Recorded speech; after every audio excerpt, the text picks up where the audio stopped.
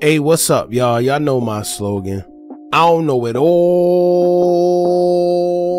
but I know what I've been through. Now, today we're going to talk about your boy Moneybagg Yo getting a tattoo in remembrance as a tribute to your boy Young Dolph. Rest in peace. May God bless his soul. Now, this probably went over a lot of people's heads because a lot of people don't even know that Young Dolph and Moneybagg Yo actually had somewhat of a friendship you know, musically. I'm not too sure personally, but I would assume personally as well.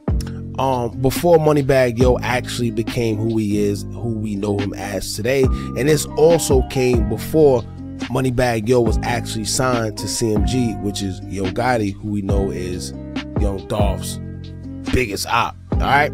Now, we're going to get into all that, man. But before we do, make sure you like, comment, share, and subscribe. Hit that bell so we notified every time we drop new content. And I swear, I swear, I swear, I swear, I swear.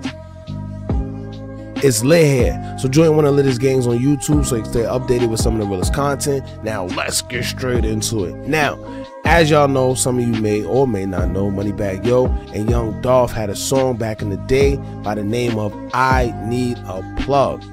And um recently, Newski, who was signed under Bread Gang, which is Moneybagg Yo's label, he passed away and he was also related to CEO Big 30, who is a Bread Gang artist as well. Well, he got his own label under Moneybagg Yo as well. Now, once again, as y'all know, Pooh Shiesty and CEO Big 30, they are actually from Memphis. And they always said that they didn't want to sign, you know, to like either Yo Gotti or or or um Young Dolph because they didn't want to get in between that whole situation because they all had close ties with each other coming out of Memphis. As you know, CEO Big 30 showed his condolences when Young Dolph passed by posting a picture of a younger him and Young Dolph as well.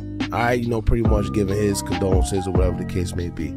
Also, if y'all remember, Moneybagg Yo was pretty silent as well when Young Dolph passed. He didn't make no diss tracks even throughout the whole situation with CMG and, and Paper Route, young um, Moneybagg Yo never stepped out of that, you know, out of line and said anything crazy when it came to Young Dolph and Yo Gotti and that little heated relationship, no matter how much he was signed to CMG. Now, when it comes to him getting this tattoo, it's understandable because if you pay attention, Young Dolph was probably the first big artist, you know, rightfully so, that gave Moneybagg Yo that feature you know, that kind of put him in position to be where he at today. So, um, Moneybagg Yo got a tattoo of the the song that they did together called "I Need a Plug." And if you go on iTunes right now, it's still up. Moneybagg Yo featuring Young Dolph. "I Need a Plug," and he got it located, I think, on his leg next to the deceased rapper Newski, who was also under Moneybagg Yo's label.